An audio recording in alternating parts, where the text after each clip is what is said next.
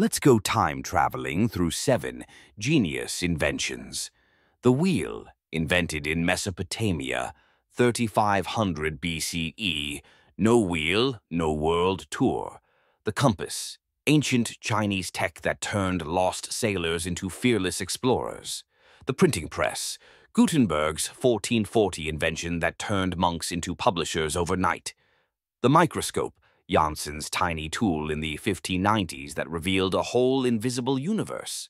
The steam engine, James Watt didn't invent it, he just made it unstoppable.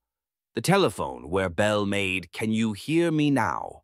a thing back in 1876. The internet, Vint Cerf and Bob Kahn's 1970s brainchild that now runs your entire life. From stone wheels to silicon chips, these inventions made us unstoppable. Which invention do you seriously admire the most?